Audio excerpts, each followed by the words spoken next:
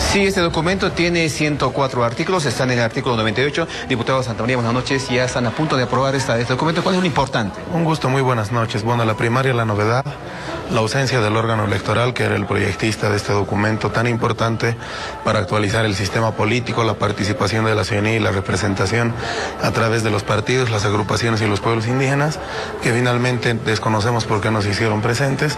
Vamos a llegar recién a las transitorias. Se ha trastocado artículo 29 que hace a la primaria, los planteamientos de la misma, los requisitos, las condiciones establecidas en la Constitución del 235 en adelante.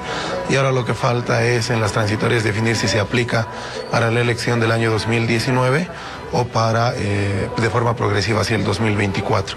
Lamentamos haber hecho bastantes sugerencias y observaciones, pero lamentablemente Nuestros colegas de Almaz han recibido un documento eh, en el que están todos los ajustes, se han distribuido, qué se pone, qué se quita para hacernos creer de que hay un gran debate.